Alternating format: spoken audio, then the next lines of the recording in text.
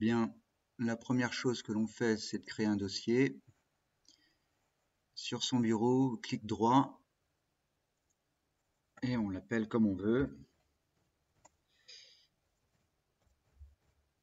On s'arrangera par la suite de copier sur sa clé USB ce dossier-là par sécurité. Ensuite, on démarre les logiciels. S'ils ne sont pas prêts, on va les chercher dans Programme. Euh, on démarre GIMP.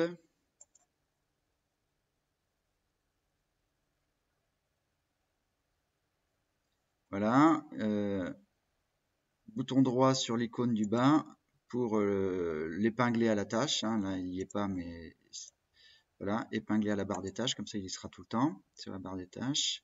Ensuite, euh, on fait pareil. On va ouvrir le logiciel de montage vidéo. On peut commencer par ça d'ailleurs uniquement. Donc voilà, là il nous demande de créer un nouveau projet. Alors où on veut mettre euh, ce projet-là, l'enregistrer eh bien dans le dans le dossier que je viens de créer sur le bureau et je vais lui donner un nom. Montage essai, parce que j'aurai par la suite un vrai montage à faire. On regarde dans les paramètres mode vidéo, on va se mettre en, en 24 images secondes en, Full HD en fait. Hein. donc on choisit ce format-là. Ensuite, ici, on prépare notre euh, timeline qu'on appelle. Là, on va faire notre montage vidéo. On ajoute une piste audio, on ajoute une piste vidéo et audio. Dans notre piste euh, audio, on va y insérer le fichier son euh, qu'on a mis dans notre dossier, qui pour moi pour l'instant est plutôt ici. Donc le repère du tempo, hein, à 120 BPM. Donc là, il apparaît ici.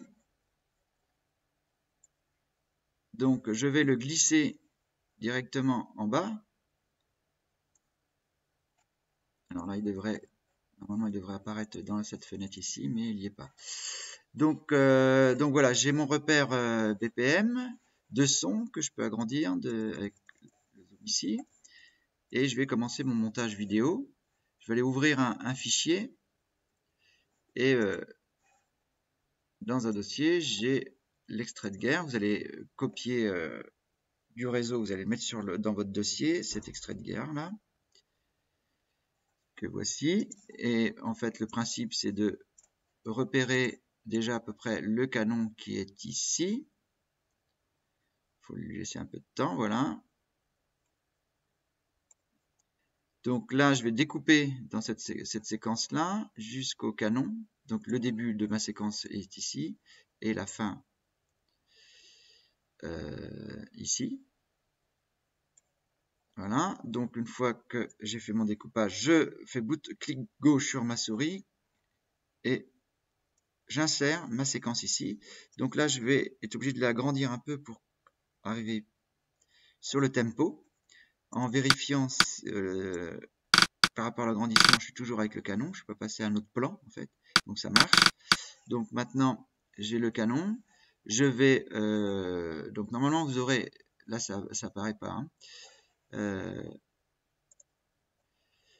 vous aurez le, le fichier que vous avez été exporté, donc je vais être obligé de le rechercher mais vous le verrez à droite normalement, ici.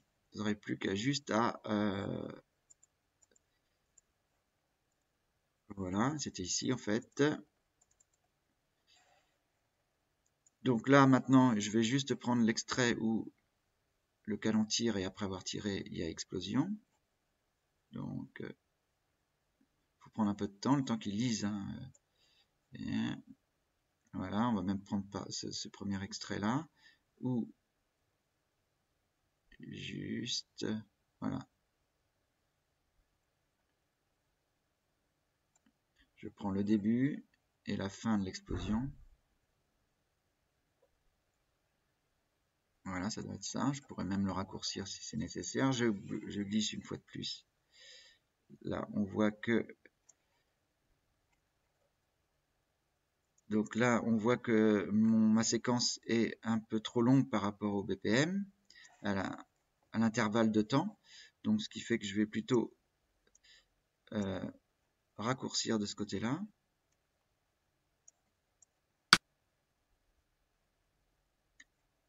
Je peux même, hein, si je veux, voilà.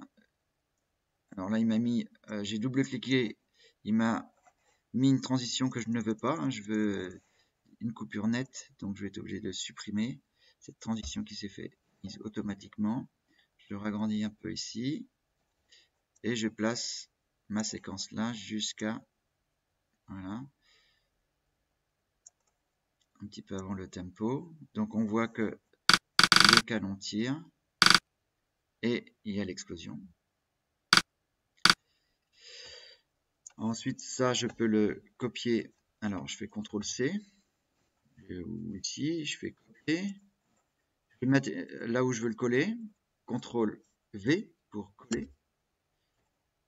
Je peux soit faire ça, soit on verra tout à l'heure autrement, comment on peut faire autrement. Ça, je fais CTRL C, copier cet extrait-là. Là, je fais CTRL V là où et on peut supprimer l'espace entre les deux. Donc voilà. Donc normalement, ce serait bien, c'est de le répéter plusieurs fois. Donc euh, voilà, j'enregistre mon travail. Euh, donc là, je vais euh, travailler, je vais remettre une dernière séquence. CTRL C, CTRL V. Voilà. Ce que je vais faire, c'est que ajouter un boulet en fait. Hein dans mon effet visuel. Donc euh, ce que je vais demander au logiciel, c'est d'exporter juste euh, cette image-là, la dernière image de ma séquence. D'exporter l'image. Donc euh, là, je vais export image on l'appelle comme on veut. On peut... Voilà, je fais un petit, une dernière, c'est par sécurité, un CTRL S pour enregistrer mon travail sur diminue cette fenêtre-là. Là, du coup, euh, je peux directement euh, aller ouvrir l'image que je viens d'exporter avec mon logiciel de montage. Je suis dans GIMP maintenant. Donc, euh, je vais dans mon bureau où j'ai à l'intérieur de mon dossier, Desktop c'est en anglais, hein, c'est bureau. À l'intérieur du dossier ESC Clip, j'ai, je cherche, ah non, il l'a pas. Donc, il faut éditeur, ouvrir, nouvelle image.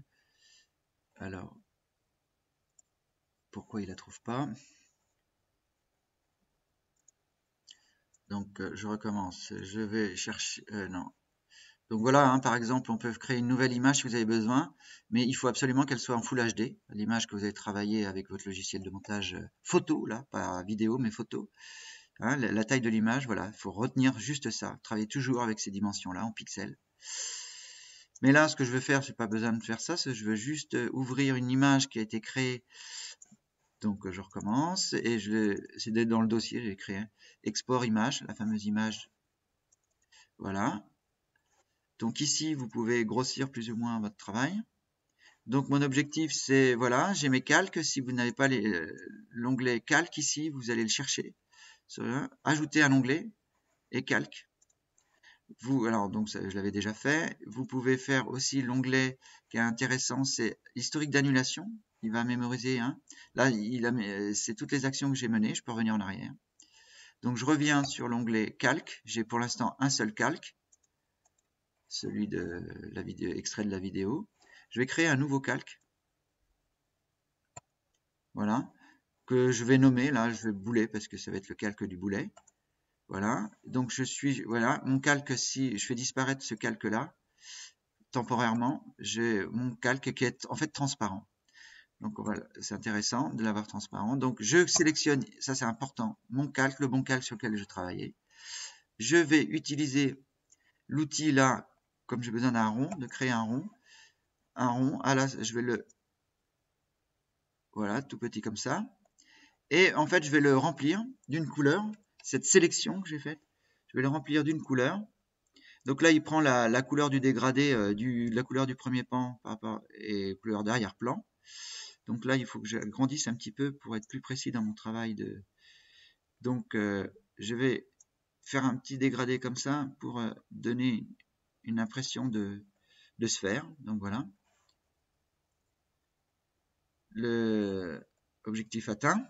Donc euh, ce que je vais faire, c'est que je vais déplacer mon boulet. Il n'est pas tout à fait en face du canon. Donc voilà, je, je suis toujours sur le bon calque ici sélectionné. Et je vais, avec l'outil déplacement, déplacer le boulet. Hein, je peux même, alors, il ne faut pas s'occuper des... Je peux même, alors, de temps en temps, c'est désélectionner si c'est nécessaire.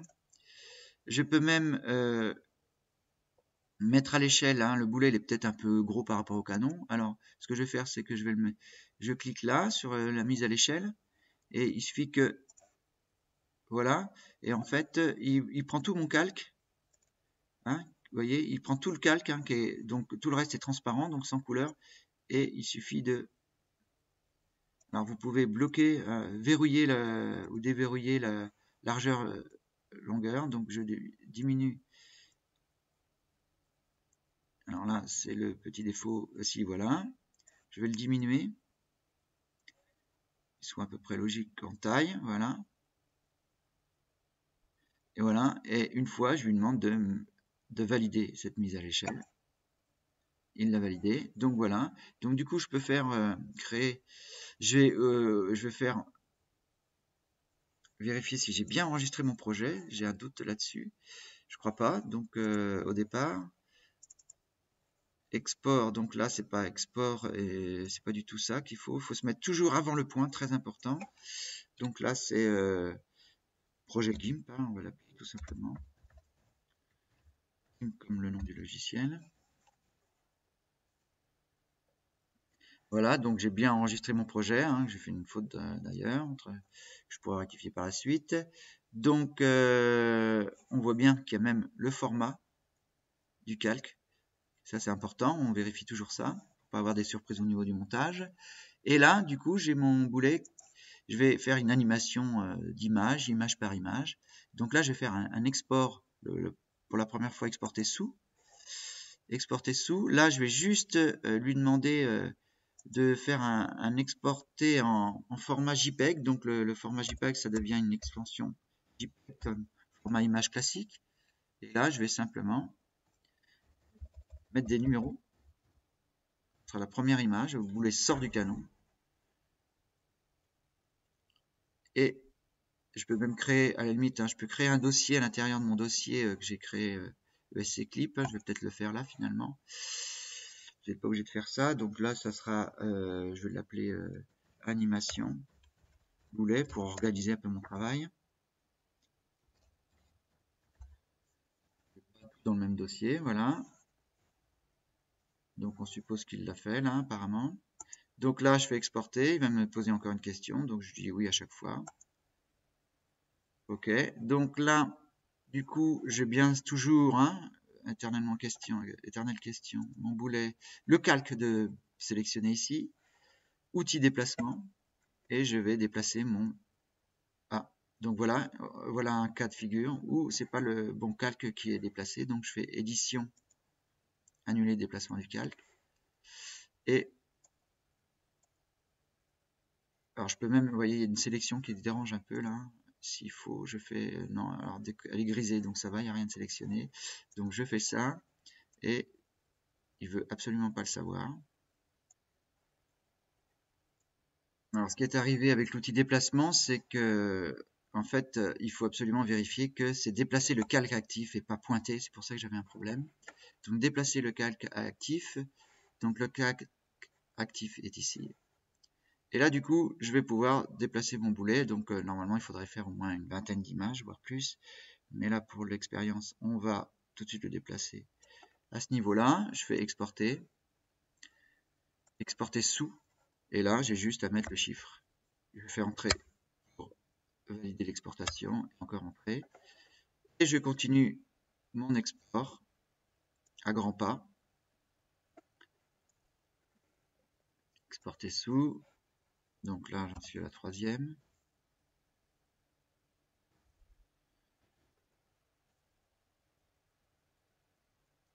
On va en faire que 4 ou 5, pas plus.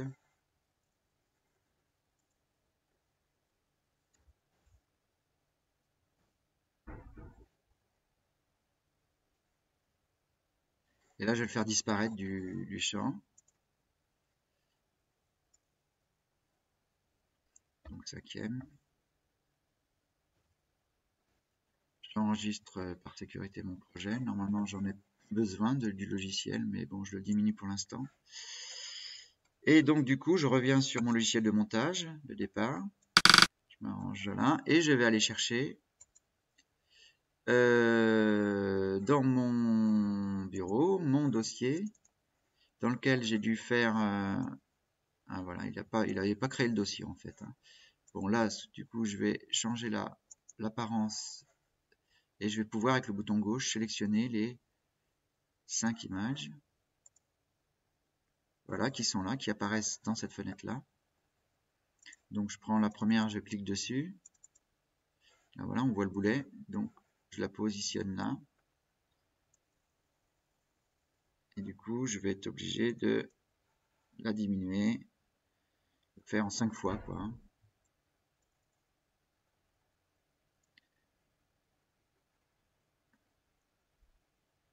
Il y a dû avoir un défaut au moment de l'exportation, parce qu'on voit qu'il y a un blanc. Est-ce que il y a un défaut ici. Il y a une mauvaise, exportation. Il hein. faudrait refaire cette image-là pour bien faire. Ça va se voir. Ah, on voit que pour tout le reste, c'est pareil d'ailleurs. Et ça, on ne peut pas modifier. Euh. Alors, le 3. Alors, qu'est-ce qui se passe, le 3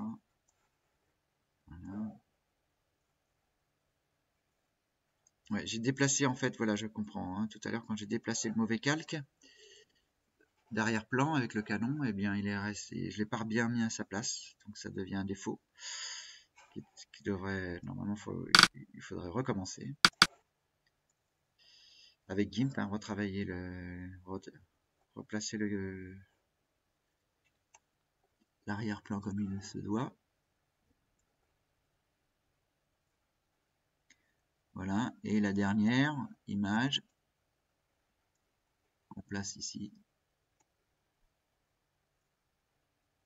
Voilà, il sort du champ, j'enregistre tout de suite. Donc voilà pourquoi il était intéressant de ne pas euh, éteindre GIMP. Hein. Il faudrait retravailler le... On voit là, il a été déplacé ici. Donc il faut refaire outil déplacement et le repositionner comme il faut. Voilà.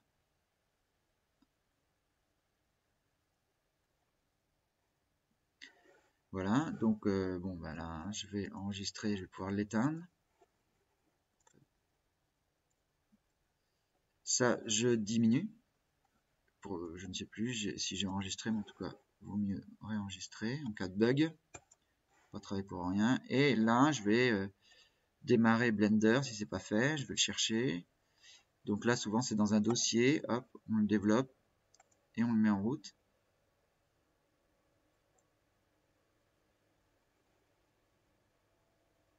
Donc s'il y a une fenêtre, on fait disparaître la fenêtre. Donc là, la première chose qu'on va faire en fait, c'est qu'on va s'occuper euh, de notre format de caméra, comme on l'a fait avec euh, le montage vidéo, qu'on est toujours le fameux Full HD. Donc euh, on clique ici. Alors il faut un peu, on peut réorganiser un peu les fenêtres. Donc ici, là, sur l'appareil photo, c'est notre caméra et ses caractéristiques. Donc elle, là, par défaut, bah il nous met en Full HD. Là, on va lui demander, c'est, euh, il fait 24 images frames par seconde, 24 images par seconde.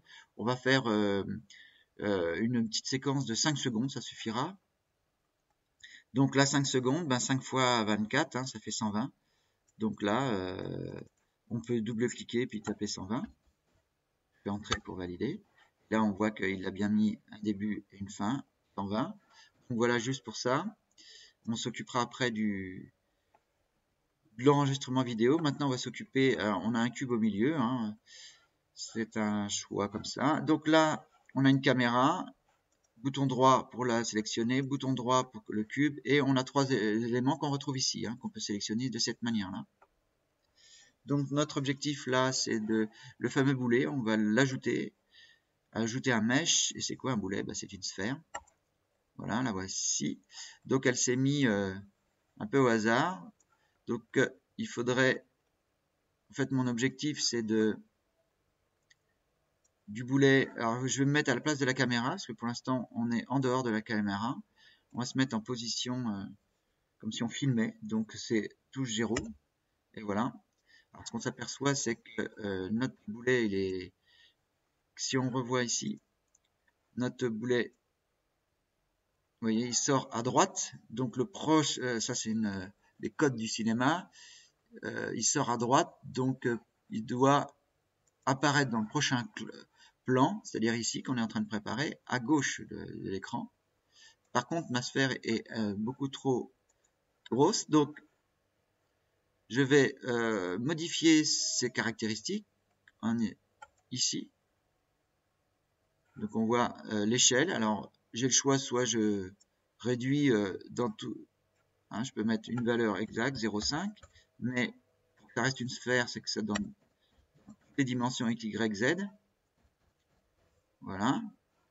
J'ai l'autre choix, c'est S sur le clavier. Vous voyez.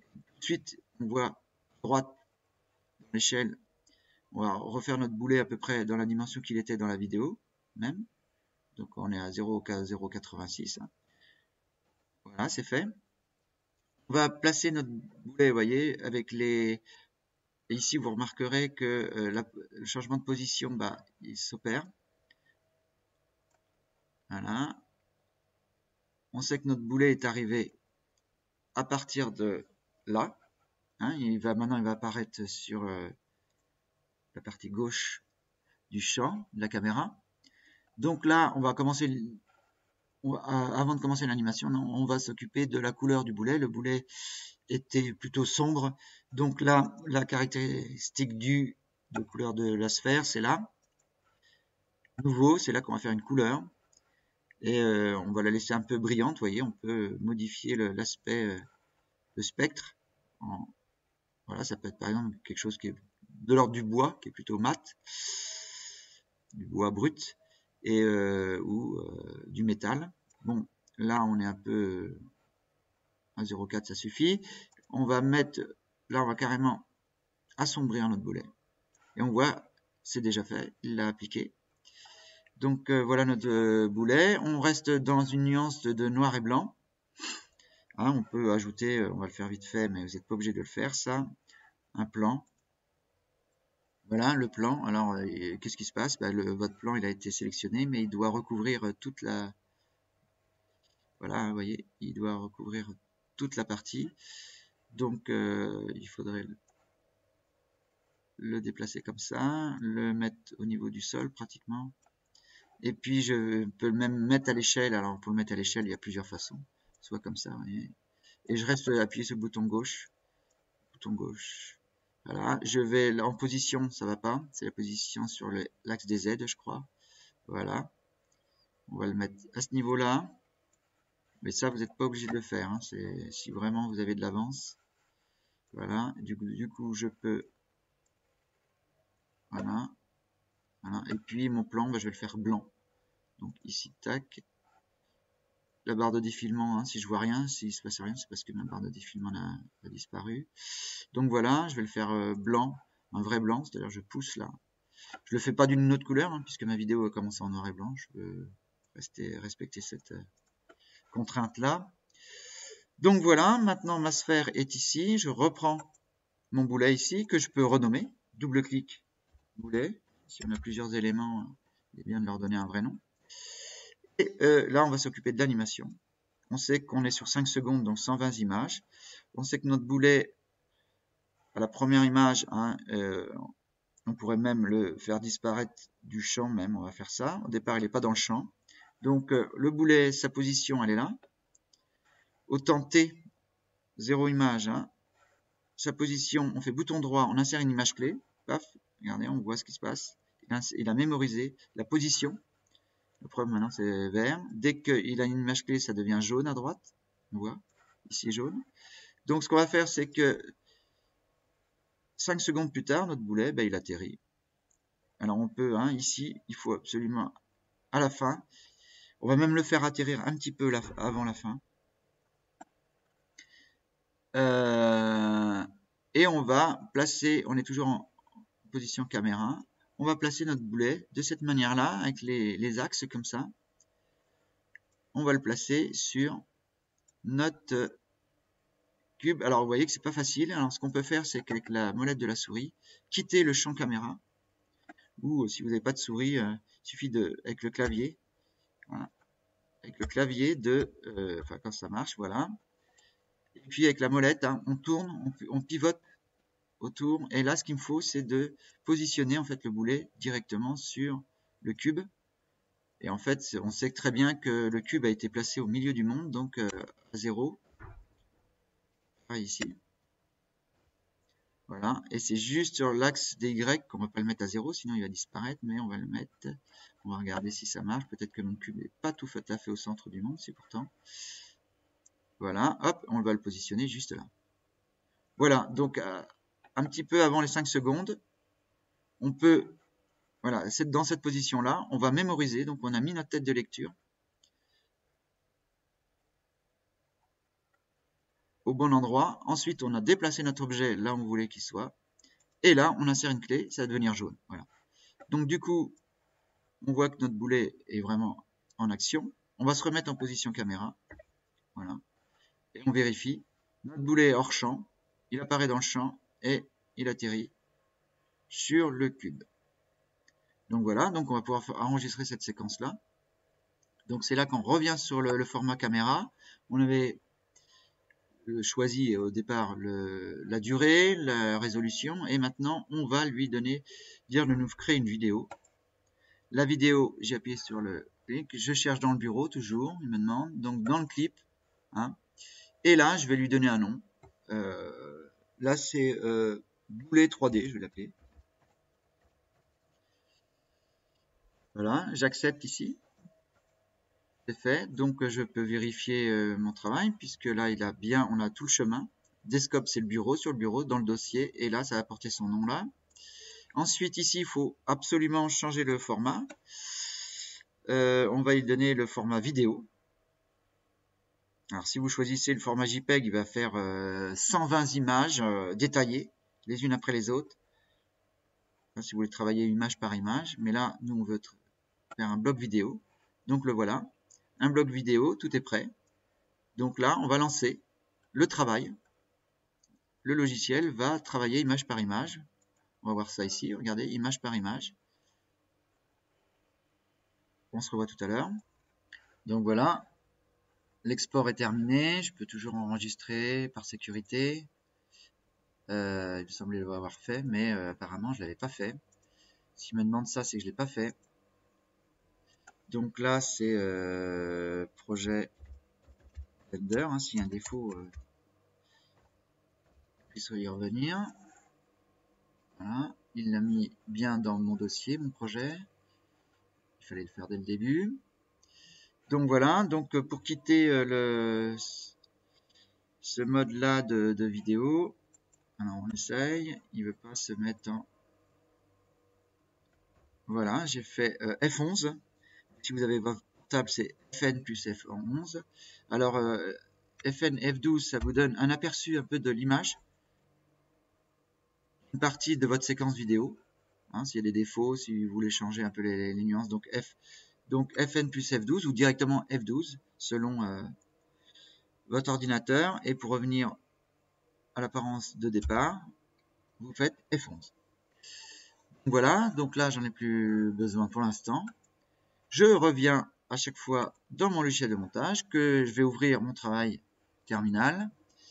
Euh, donc le voilà, hein, il l'a appelé euh, boulet, mais à chaque fois hein, il lui donne d'autres noms, d'autres chiffres quoi.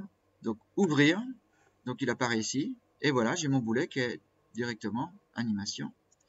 Donc du coup, j'ai pas besoin de l'activer, donc je peux euh, le glisser directement ici. Mais ce qui arrive, c'est qu'on voit qu'il n'y a pas assez de son, hein, si on veut la continuité du son. Voilà, tac. Donc en fait, il y a une, certaine, regardez, on voit le boulet là. On voit que la lumière hein, vient de là. Il faudrait retravailler peut-être la lumière là. Il disparaît et il y a on voit que la lumière vient du même endroit, donc ça va. C'est assez cohérent sur le plan de la lumière, qui est assez important. Donc ce qu'il faut faire, c'est surtout se mettre là. Je vais choisir mon son, je fais pareil. CTRL C pour copier, CTRL V pour coller. Et euh, du coup, je vais même passer le poil jusqu'à la fin. Donc voilà. Donc euh, on peut dire que mon montage est... J'enregistre mon travail. Et là, ce que je fais, la dernière étape, pour transformer tout ça en vidéo, hein, pour l'instant ça n'est qu'un montage vidéo, je vais exporter la vidéo. Euh, voilà, je la mets en... On choisit ce format-là, H264. Euh, avancer, je vais voir ce qu'il me propose pour vérifier. Hein, voyez, 1920, on est bien en 24 images secondes. Et euh, donc tout va bien. On vérifie ça, hein. c'est le minimum. Exporter le fichier donc. Donc là, dans notre dossier montage essai, donc là non, on va l'appeler euh, canon avec une majuscule. Par exemple, pour faire un peu les différences entre les différents formats de fichiers je vais supprimer le i là. Donc on s'assure toujours, hein, c'est important, le point MP4 ou point, euh, quelle que soit l'extension, il y a toujours trois lettres ou, ou autre, mais il faut toujours qu'il y ait le point là et vous mettez votre nom. Hein. Euh, donc là on enregistre et donc là on va lui demander de exporter le fichier. Il est en train de le faire. Voyez le travail, donc on se revoit. Donc voilà, c'est terminé. On peut diminuer, on va voir, vérifier. Canon, voilà, on l'a là. Notre vidéo qu'on peut donner à n'importe qui. Diffuser sur les réseaux sociaux, par exemple. On va vérifier.